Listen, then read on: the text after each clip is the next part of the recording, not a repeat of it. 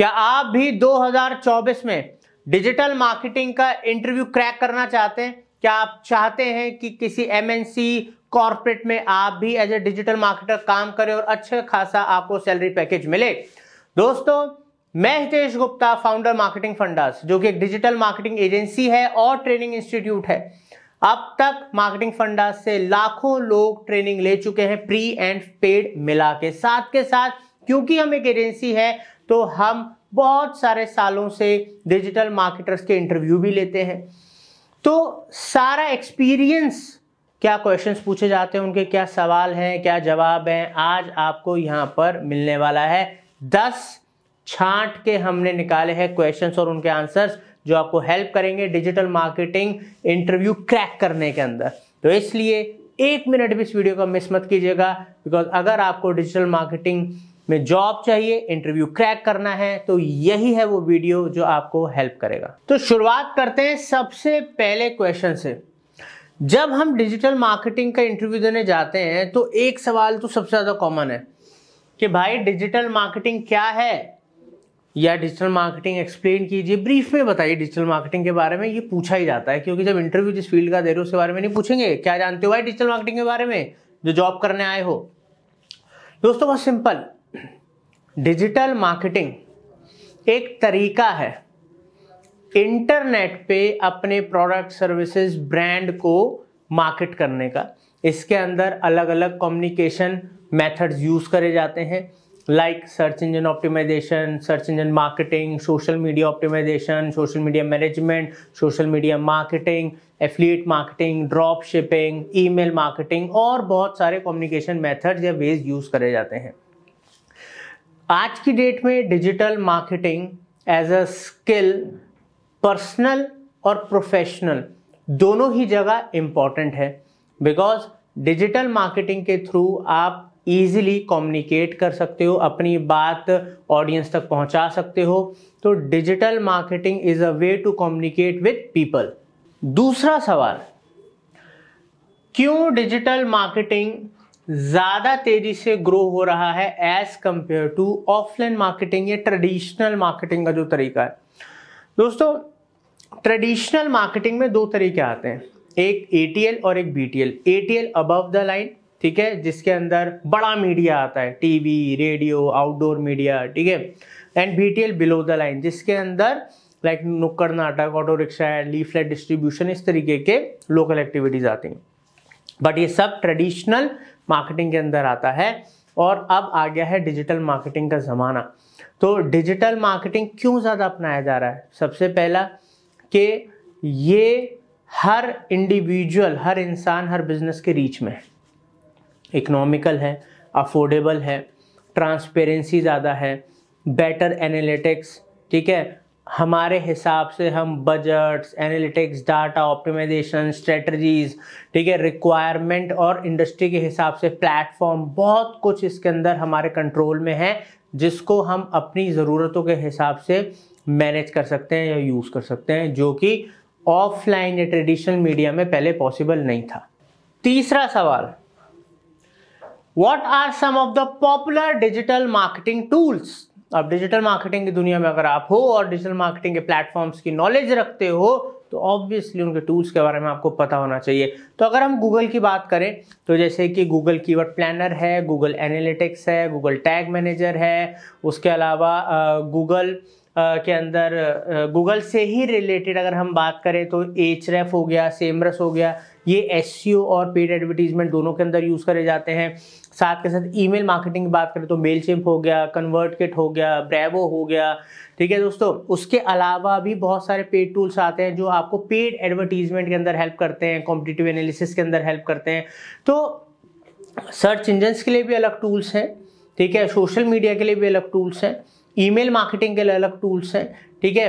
तो हर एक particular activity platform के लिए नए नए टूल्स हैं बिज़नेस ऑटोमेशन के लिए टूल्स हैं सेल्स ऑटोमेशन के लिए टूल्स हैं लाइक हब स्पॉट हो गया, ठीक है? कई सारे टूल्स हैं जिनका हम यूज़ करके अपनी प्रोडक्टिविटी इंक्रीज कर सकते हैं मैन पावर बचा सकते हैं, साथ के साथ स्मार्टली कॉम्पिटिटिव एनालिसिस कर सकते हैं मार्केट एनालिसिस कर सकते हैं, जिसकी वजह से हम अपने कॉम्पिटिटर से आगे रह सकते हैं और टूल्स की मदद से पैसा खर्च नहीं होता, पैसा बचता है अगर आपको टूल्स का एफिशिएंट यूज़ करना आता है और सही टूल अगर आपको चूज़ करना आता है। फोर्थ क्वेश्चन है दोस्तों what are the different kinds of bidding available in Google ads bidding strategies जो हैं वो Google ads Facebook ads LinkedIn किसी भी एड के अंदर बहुत ज़रूरी है। क्यों ज़रूरी है? क्योंकि जब हम एड्स रन करते हैं सबसे पहले हमसे क्या पूछता है कि आप ये ऐड क्यों चलाना चाहते हो? ऑब्जेक्टिव क्या है? गोल क्या है आपका ऐड चलाने का? तो हम चूज़ करते हैं भाई सर्च ऐड चलाना है या हमें डिस्प्ले ऐड से नहीं सॉरी हम ये डिसाइड करते हैं कि लीड जनरेशन ऐड चलाना है ट्रैफ़िक ऐड चलाना है ठीक है? या हमको वहाँ पर आ, मतलब ब्रांड अवेयरनेस के लिए ऐड चलाना है किस पर्पज़ के लिए हमें ऐड चलाना है? उसके बाद हम डिसाइड करते हैं कि सर्च ऐड चलाना है वीडियो ऐड चलाना है डिस्प्ले ऐड चलाना है डिस्कवरी ऐड चलाना है शॉपिंग ऐड चलाना है क्या चलाना है? मगर जब हम वो डिसाइड करते हैं तो उसके बाद हमको बिडिंग स्ट्रेटजीज पता होनी चाहिए कि अगर मैं वीडियो वाला ऐड चला रहा हूँ तो मेरे को C P V cost per view वहाँ पर बिडिंग स्ट्रेटजी सेलेक्ट करनी है। इम्प्रेशन वाला चला रहा हूँ तो कौन सी करनी है?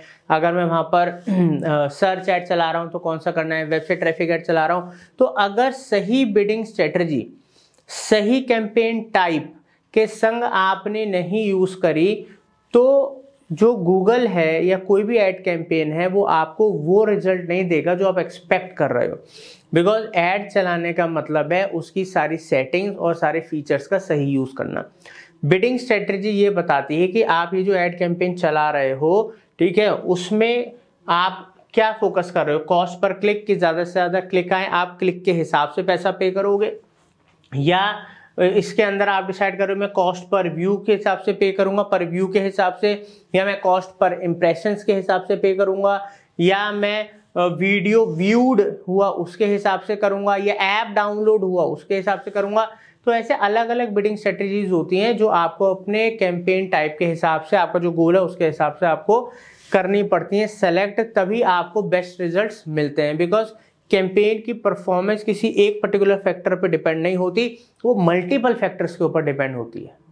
Fifth what are the types of keyword matching available in Google ads दोस्तों, जब हम गूगल एड्स की बात करते हैं स्पेशली जब हम पीपीसी की बात करते हैं पेपर क्लिक जिसको टेक्स्ट एड्स सर्च एड्स भी बोला जाता है तो वहाँ पर कीवर्ड मैच टाइप्स की बात होती है, ठीक है? क्योंकि आप ऐसा नहीं है कि आप कोई भी कीवर्ड रिसर्च करके वहाँ पर प्लेस कर दोगे, इन कीवर्ड पे मेरा ऐड चल जाए। क्योंकि उनको प्लेसमेंट के साथ साथ उनका मैच टाइप सेलेक्ट करना बहुत ज़रूरी है। बेसिकली पहले चार आते थे, अब तीन आते हैं match types broad match phrase match and exact match broad match क्या है? कि अगर कोई कीवर्ड है like digital marketing agency in Delhi अगर आपने ये ब्रॉड मैच में रखा तो अगर कोई डालता है डिजिटल मार्केटिंग जॉब तो भी आपका सर्च में आ सकता है।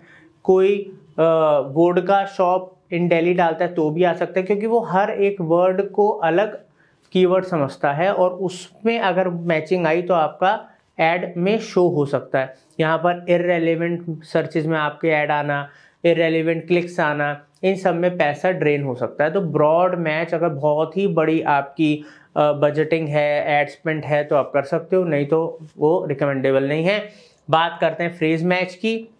ये ज़्यादा आपको बेटर अलाउ करता है कि जैसे मैं डालता हूँ डिजिटल मार्केटिंग एजेंसी और उसको मैं इन्वर्टेड कॉमर्स मतलब इधर और इधर इन्वर्टेड कॉमर्स लगा के बीच में फ्रेज मैच रखता हूँ तो डिजिटल मार्केटिंग एजेंसी वो पूरे कोई कीवर्ड मानेगा, अगर उसके पहले कुछ लगाते हैं like best digital marketing agency तो भी आपको सर्च में आ सकता है। Best digital marketing agency in Delhi in Gurgaon in Noida तो फ्रेज मैच के अंदर बीच का वो फ्रेज सेम लेगा, आगे और पीछे चेंज हो सकता है। उसमें अगर वो कीवर्ड आ रहा है तो आपका फ्रेज मैच के अंदर एड शो हो सकता है। अब उसमें अननेसेसरी सर्चेज में बचने के लिए हम नेगेटिव कीवर्ड्स का यूज़ करते हैं। ये सब चीज़ आप प्रैक्टिकली भी सीख सकते हो हमारे थ्रू मगर अभी हम आपको उसका ओवरव्यू दे रहे हैं। साथ के साथ एग्जैक्ट मैच एग्जैक्ट मैच क्या होता है कि अगर कोई डाले digital marketing agency in Delhi ये पूरा का पूरा जब कोई डाले तभी मेरा एड शो हो सर्चेज में आए, उसको एग्जैक्ट मैच कहते हैं।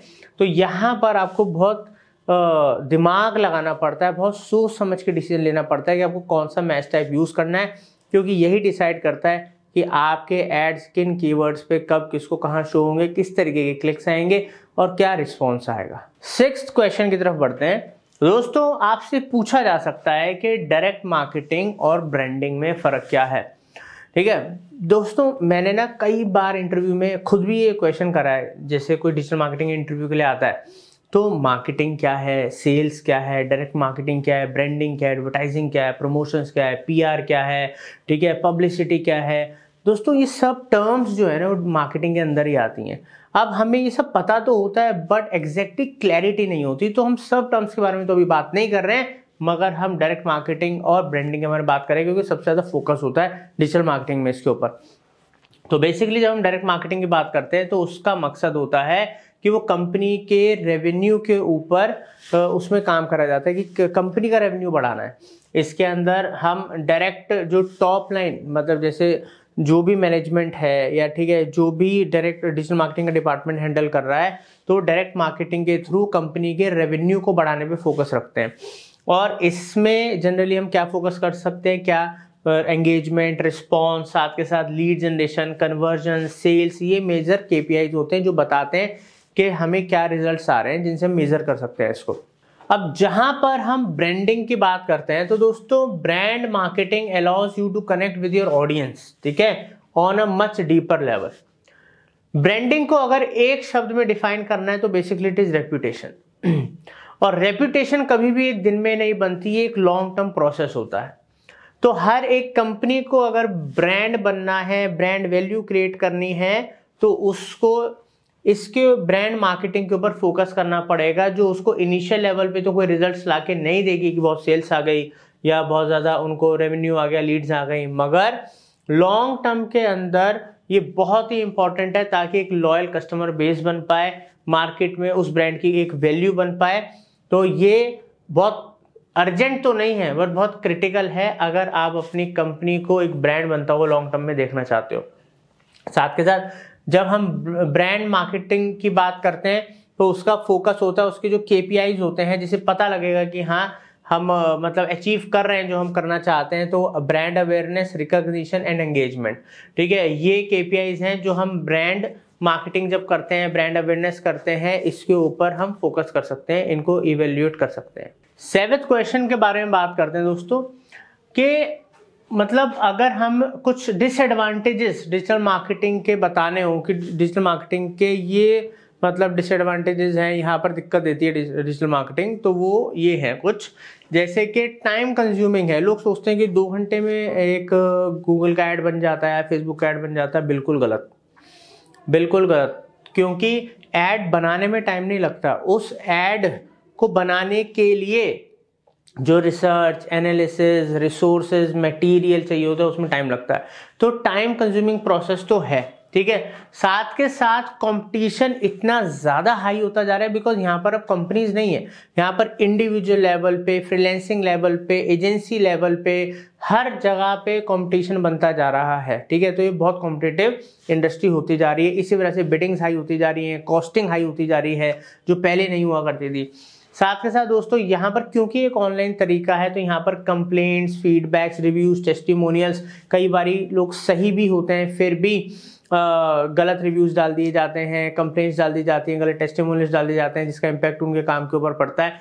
मगर, कुछ ऐसे चैलेंजेस हैं तो बिज़नेस कोई भी हो ऑफलाइन होता था ऑनलाइन होता था चैलेंजेस तो हर जगह ही होते हैं बट ये कुछ डिसएडवांटेजेस है जो फेस करने पड़ सकते हैं। एट्थ क्वेश्चन है what K P I do you use in social media marketing reporting क्योंकि जब आप सोशल मीडिया मार्केटिंग करते हो, उसकी रिपोर्टिंग करते हो तो किन की परफॉर्मेंस इंडिकेटर्स का आप यूज़ करते हो।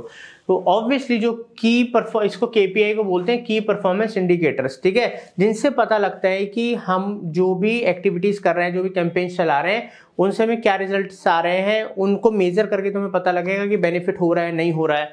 तो जैसे कि लाइक्स फॉलोवर्स कितने बढ़ रहे हैं, कितने लाइक्स आ रहे हैं, कितने रुपए के आ रहे हैं, कितने पर लाइक कितने रुपए का आ रहा है, फॉलोवर्स कितनी तेज़ी से ग्रो हो रहे हैं ट्रैफ़िक कन्वर्जन्स ट्रैफ़िक से कितना कन्वर्जन आ रहा है, ठीक है? सोशल इंट्रैक्शंस सोशल शेयर्स कितने शेयर हो रहा है कंटेंट बाकी आप सेल्स भी कह सकते हो लीड जनरेशन भी कह सकते हो, कई सारे की परफॉर्मेंस इंडिकेटर्स होते हैं और डिपेंड करता है कि हम कौन से कैंपेन्स चला रहे हैं, कौन सी मार्केटिंग एक्टिविटीज़ कर रहे हैं उसमें हम कौन से केपीआई को मेजर कर रहे हैं? इट डिपेंड्स तो दोस्तों डिजिटल मार्केटिंग इंटरव्यू क्वेश्चंस जो पूछे जाते हैं, उसमें जनरली सोशल मीडिया से रिलेटेड सवाल पूछे जाते हैं सर्च इंजन से रिलेटेड सवाल पूछे जाते हैं, कुछ स्ट्रेटजीज वगैरह पूछ ली जाती हैं, ठीक है? और डिजिटल मार्केटिंग में नए ट्रेंड्स क्या हैं टूल्स क्या हैं, ये सब जो हमने डिस्कस करा, पूछा जाता है। अब हम कुछ और भी जानते हैं, और क्या क्या पूछा जा सकता है। दोस्तों नाइन्थ क्वेश्चन है what are the different ways to segment your buyer persona कैसे क्रिएट कर सकते हैं हम अपना बायर परसोना ठीक है, अब दोस्तों, उसमें मेजरली तीन ही फैक्टर्स होते हैं। एक होता है जोग्राफिकल सेगमेंटेशन कि अगर हम कोई ऑडियंस टारगेट कर रहे हैं तो किस एरिया की टारगेट करना चाहते हैं? कौन सी कंट्री है, कौन सी सिटी है, कौन सा स्टेट है, कौन सा पिन कोड है? ठीक है मतलब जोग्राफिकल अगर हम कंडीशंस की बात करें। दूसरा आता है डेमोग्राफिक सेगमेंटेशन तो यहाँ पर हम सेगमेंट कर सकते हैं ऑडियंस के एज के हिसाब से एजुकेशन के हिसाब से इनकम के हिसाब से जेंडर के हिसाब से ऑक्यूपेशन के हिसाब से नेशनैलिटी और कई सारे और फैक्टर्स होते हैं जहाँ हम डेमोग्राफिक्स की बात करते हैं। और basically last but not the least behavioural segmentation यहाँ पर ऑडियंस का बिहेवियर क्या है? उनके डिसीज़न मेकिंग पैटर्न्स क्या हैं? यहाँ पर कौन परचेज ज़्यादा करता है, कौन ऑनलाइन ज़्यादा एक्टिविटी करता है, कौन क्या सर्च करता है, कौन किस चीज़ में इंटरेस्टेड है, उसके इंटरेस्ट हो गए, ठीक है? तो उनकी जो प्रीवियस एक्टिविटीज़ हैं उनकी जो इन मार्केट एक्टिविटीज़ है, इन दोनों किस चीज़ में इंटरेस्टेड है, ऐसे कई सारे फैक्टर्स होते हैं जो जोग्राफिकल डेमोग्राफिक और बिहेवियल सेगमेंटेशन के ऊपर हम इन सबको मिला के अपना परफेक्ट ऑडियंस सेलेक्ट कर सकते हैं। राइट सेगमेंट जिसको बोलते हैं परफेक्ट ऑडियंस जिसको बोलते हैं, हम डिसाइड कर सकते हैं। ये सबसे ज़्यादा पूछा जाता है बिकॉज़ एड चलाना उतना इंपॉर्टेंट नहीं है। परफेक्ट राइट ऑडियंस कैसे फाइंड आउट करोगे? किस तरीके से उसको टारगेट करोगे? ये बहुत ही क्रिटिकल सवाल है जो पूछा जाता है। बिकॉज़ एड सब चला लेते हैं रिज़ल्ट हर कोई नहीं लेकर आ पाता और कंपनीज़ भी उन्हीं की ग्रोथ होती है, उन्हीं को जल्दी जॉब मिलती है, जो रिज़ल्ट ओरिएंटेड लोग होते हैं। फाइनली जो हमारा टेंथ क्वेश्चन है, दोस्तों, वो है कि कैसे हम आरओआई मेजर करेंगे किसी भी चैनल अगर हम फेसबुक पे मार्केटिंग कर रहे हैं गूगल पे कर रहे हैं, किसी और प्लेटफॉर्म पे कर रहे हैं तो क्या हमें हमारी जो इन्वेस्टमेंट पे रिटर्न आ रहा है? ठीक है आरओआई हर किसी को चाहिए। तो उसका फॉर्मूला क्या है? अगर आपसे कोई पूछ इंटरव्यू में आरओआई कैलकुलेट करने का फॉर्मूला क्या है, किसी पर्टिकुलर चैनल से हमें आरओआई आ रहा है नहीं आ रहा तो वो है net profit divided by total digital marketing cost into hundred. तो आपको निकल आएगा आर तो दोस्तों, ये दस क्वेश्चंस थे जो सबसे ज़्यादा पूछे जाने वाले सवालों में से एक हैं। तो उम्मीद करता हूँ इनके जवाब आपको समझ में आए होंगे। और ज़्यादा अगर आपको डिजिटल मार्केटिंग में और जानना है और सीखना है तो उसके लिए आप 2024 में मार्केटिंग फंडाज आप लोगों के लिए स्पेसिफिक लिमिटेड बैचेस लेकर आया है hybrid live digital advance courses, जिसके अंदर आर्टिफिशियल इंटेलिजेंस, प्रॉम्प्ट इंजीनियरिंग के मॉड्यूल्स रखे गए हैं, ऑनलाइन, ऑफलाइन सब कुछ है। लाइव डाउट सेशंस हर क्लास के अंदर हैं। दोस्तों, अगर आप 2024 में डिजिटल मार्केटिंग में करियर बनाना चाहते हैं, प्रोफेशनल तरीके से डिजिटल मार्केटिंग एजेंसी से डिजिटल मार्केटिंग सीखना चाहते हैं तो नंबर पे व्हाट्सएप करें, कॉल करें, आज ही एनरोल करें। डिस्क्रिप्शन में भी नंबर और इंक्वायरी फॉर्म दे रखा है। आप कॉन्टेक्ट